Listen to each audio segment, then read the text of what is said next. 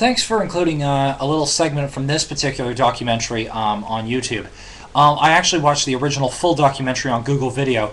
Um, some of the stuff they were talking about in terms of Nina Kulagina and a few others like that, um, I've been a tad skeptical about. However, a lot of their work, which they talked about, barring the PEAR studies pertaining to micropsychokinesis research, um, the PEAR studies, of course, did have some major problems with statistical legerdemain and the like, but uh, a large chunk of the other research that has been done with random number generators since then, um, again, including this guy in Paris and what have you, um, actually has been quite good and uh, is worth further research. Hence why I say that along with telepathy, clairvoyance, and precognition, um, micropsychokinesis or retropsychokinesis, you know, um, reaching backwards through time, influencing radioactive decay, or influencing random number generators of the present, are much more likely than not, uh, are more likely than not, and are considerably more possible or plausible uh, than, are considerably more so plausible than macro telekinesis.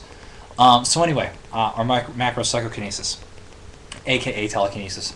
So I think I've pretty well covered that. Um, I'm going to, um, again, uh, for the other videos, again, as I've already said before, please um, repeat your videos with the controls I've mentioned and uh, to prove to, to prove that you actually do have uh, TK ability. And other than that, yeah, keep up the good work. See ya.